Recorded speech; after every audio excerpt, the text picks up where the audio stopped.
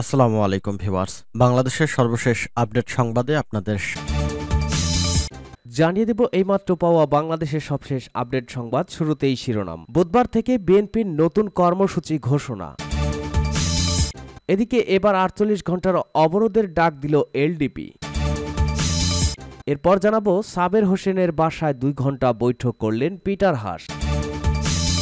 আরও জানাব, অতিরিক্ত ডিআইজি পদে পদোন্নতি পেলেন বারো এসপি। এদিকে হঠাৎ কর্মসূচি স্থগিত করল বিএনপি, জানিয়ে দেব বিস্তারিত সংবাদে।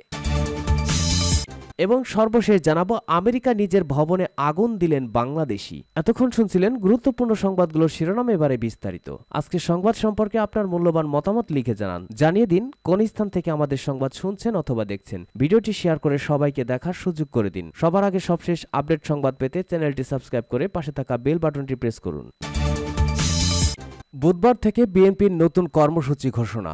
যুগপথ আন্দোলনের ধারাবাহিকতায় ফের আগামী বুধবার ভোর থেকে বৃহস্পতিবার আট ও নয় নভেম্বর পর্যন্ত আটচল্লিশ ঘণ্টার তৃতীয় দফার অবরোধ আসছে। সোমবার ছয় নভেম্বর এই কর্মসূচির আনুষ্ঠানিক ঘোষণা দেন সরকার পতনের এক দফা আন্দোলনের প্রধান রাজনৈতিক দল বিএনপি। সংশ্লিষ্ট সূত্রে জানা গেছে এই তথ্য। প্রসঙ্গত, গত আঠাশ অক্টোবর ঢাকায় বিএনপির মহাসমাবেশে হামলা নেতাকর্মীদের হত্যা বিএনপি মহাসচিব মির্জা ফখরুল ইসলাম আলমগীর সহ আন্দোলনরত বিভিন্ন দলের সহস্রাধিক নেতাকর্মীকে গ্রেপ্তার, বাড়ি বাড়ি তল্লাশি ও হয়রানি। নির্যাতনের প্রতিবাদে গত উনত্রিশ অক্টোবর সারা দেশে সকাল সন্ধ্যা হরতাল কর্মসূচি পালিত হয়েছে। এরপর প্রথম দফায় গত একত্রিশ থেকে দুই নভেম্বর পর্যন্ত বাহাত্তর ঘণ্টার অবরোধ কর্মসূচি পালন করা হয়। এক দফা দাবি আদায়ের লক্ষ্যে গত রোববার ভোর ছয়টা থেকে মঙ্গলবার ভোর ছয়টা, অর্থাৎ পাঁচ ও ছয় নভেম্বর পর্যন্ত সারা দেশে ঢাকা সহ সারা দেশে আটচল্লিশ ঘণ্টার রেল, রাজপথ ও নৌপথ অবরোধ শেষ হয় আজ সকাল ছয়টায়।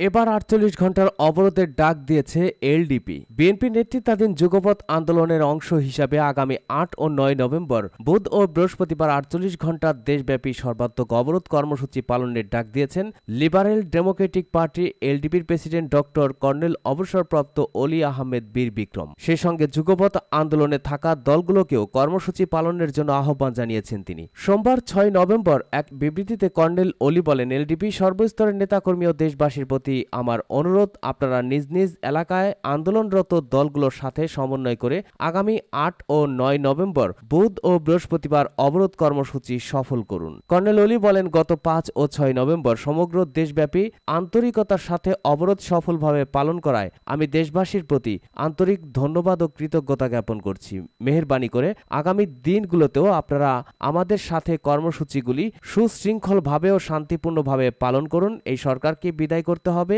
একটু কষ্ট করে হলেও দেশের সার্বভৌমত্ব ও সাংবিধানিক অধিকার ফিরিয়ে আনুন। সাধারণ জনগণের প্রতি আহ্বান, গাড়িগুলো রাস্তায় বের না করে আমাদের কর্মসূচিগুলি সফল করার জন্য সাহায্য করুন। সাবের হোসেনের বাসায় দুই ঘণ্টার বৈঠক করলেন পিটার হাস। প্রধানমন্ত্রীর পরিবেশ ও জলবায়ু বিষয়ক বিশেষ দূত ও ঢাকা নয় আসনের সংসদ সদস্য সাবের হোসেন চৌধুরীর সঙ্গে বৈঠক করেছেন ঢাকায় নিযুক্ত মার্কিন রাষ্ট্রদূত পিটার হাস। সোমবার ছয় নভেম্বর রাজধানীর পরিবাগে সাবের হোসেন চৌধুরীর বাসায় প্রায় দুই ঘণ্টা ব্যাপী এই বৈঠক হয়, তবে কি নিয়ে আলোচনা হয় কোনো পক্ষই তা নিয়ে কিছু বলেনি। এদিন দুপুর সোয়া দুইটার দিকে সাবের হোসেন চৌধুরীর বাসায় ঢুকে বিকেল সোয়া চারটার দিকে বেরিয়ে যান পিটার হাস। এ সময় তিনি গণমাধ্যম কর্মীদের সঙ্গে কোনো কথা বলেননি। সাবের হোসেন চৌধুরীও বাসা থেকে বের হননি। ধারণা করা হচ্ছে এই বৈঠকে দেশের সমসাময়িক রাজনৈতিক পরিস্থিতি বিশেষ করে নির্বাচন নিয়ে গুরুত্বপূর্ণ বার্তা আদান প্রদান হতে পারে। এর আগে রাষ্ট্রীয় অতিথি ভবন পদ্মায় গত তেসরা নভেম্বর পররাষ্ট্র সচিব মাসুদ বিন মোমেনের সঙ্গে রুদ্রদ্বার বৈঠক করেন পিটার হাস। তবে কি নিয়ে আলোচনা হয়, কোনো পক্ষই খোলাসা করে কিছু বলেননি।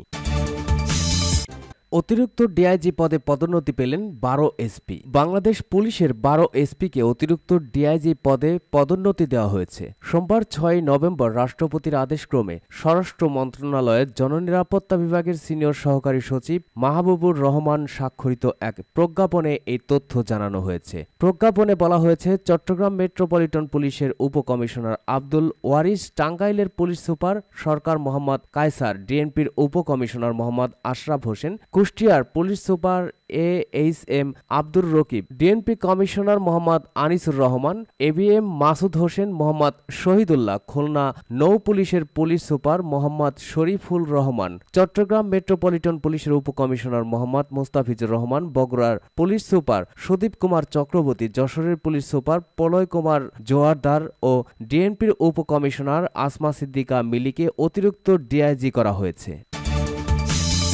হঠাৎ কর্মসূচি স্থগিত করল বিএনপি। সরকারের দমনপীড়নের প্রতিবাদে আজ সাতই নভেম্বর জাতীয় বিপ্লব ও সংহতি দিবসে দলীয় কর্মসূচি স্থগিত করেছে বিএনপি। সোমবার ছয় নভেম্বর বিকেলে এক ভার্চুয়াল সংবাদ সম্মেলনে ব্রিফিংয়ে দলের জ্যেষ্ঠ যুগ্ম মহাসচিব রুহুল কবির রিজবি কথা জানান। তিনি বলেন, এক মনুষ্যহীন, ভয়ঙ্কর পরিবেশের মধ্যে বাস করছে আজকে গণতন্ত্রকামী মানুষ। আজকে জাতীয়তাবাদী শক্তি এই কারণে আগামী কাল অর্থাৎ আজ আমাদের যে কর্মসূচি থাকে সাতই নভেম্বর সরকার সরকারের নিষ্ঠুর নির্দয় নিপীড়নের প্রতিবাদে সেই কর্মসূচি স্থগিত থাকছে। শহীদ প্রেসিডেন্ট জিয়াউর রহমানের মাজারে যাওয়ার যে কর্মসূচি, সেই কর্মসূচি স্থগিত থাকছে। সাতই নভেম্বর দিবসটিকে বিএনপির জাতীয় বিপ্লব সংহতি দিবস, আওয়ামী লীগ মুক্তিযোদ্ধা সৈনিক হত্যা দিবস এবং জাসদ সিপাহী জনতার অভ্যুত্থান দিবস হিসেবে পালন করে। প্রতি বছর এই দিবসের দিন বিএনপি নেতাকর্মীরা সকালে রাজধানীর শেরেবাংলা নগরে প্রয়াত রাষ্ট্রপতি জিয়াউর রহমানের কবরে পুষ্পমাল্য অর্পণ করে থাকেন। উনিশশো পঁচাত্তর সালের পনেরোই আগস্ট বঙ্গবন্ধু শেখ মুজিবুর রহমান সপরিবারে নিহত হওয়ার পর সেনাপ্রধানের দায়িত্বে আসেন জিয়াউর রহমান। এরপর মুক্তিযুদ্ধের অন্যতম সেক্টর কমান্ডার খালেদ মোশারফের নেতৃত্বে সেনাবাহিনীতে একটি অভ্যুত্থান হয়। জিয়া হন গৃহবন্দী। সাতই নভেম্বর মুক্তিযুদ্ধের সাবেক সেক্টর কমান্ডার কর্নেল তাহেরের নেতৃত্বে পাল্টা অভ্যুত্থানে আটক অবস্থা থেকে মুক্ত হন জিয়াউর রহমান। এর মধ্য দিয়ে ক্ষমতার কেন্দ্রবিন্দুতে চলে আসেন জিয়া।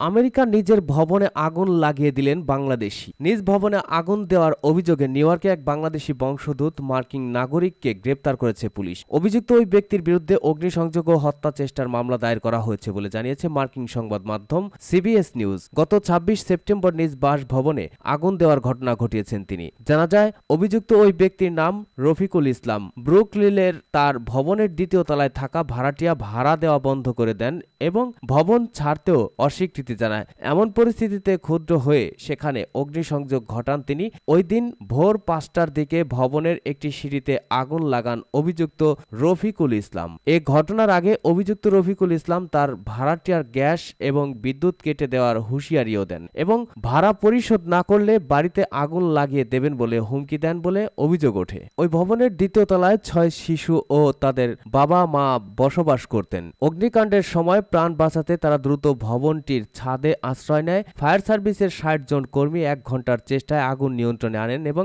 বাসিন্দাদের উদ্ধার করেন। পরে সামান্য আহত সাতজনকে জামাইকা হাসপাতালে চিকিৎসা দেওয়া হয়। ফায়ার সার্ভিস বিভাগ জানায়, গত চার সপ্তাহ ধরে তারা ভবনের সিসিটিভি ক্যামেরায় ভিডিও বিশ্লেষণ করেন। এরপর অগ্নিকাণ্ডের ঘটনায় ভবন মালিককে শনাক্ত করা হয়। সেখানে দেখা যায়, একজন মুখোশ এবং হুড পরা ব্যক্তি বাড়িতে প্রবেশ করে এবং জরুরি পরিষেবার নম্বরে কল করার আগেই বাড়ি থেকে বেরিয়ে যায়। এরপর তদন্তকারী কর্মকর্তারা আরেকটি ভিডিওতে দেখতে পান মুখোশধারী ব্যক্তি খোদ ভবন মালিক রফিকুল ইসলাম। তারপরেই তার বিরুদ্ধে অভিযোগ আনে তদন্তকারী দল। পরে গ্রেপ্তারও করা হয় তাকে।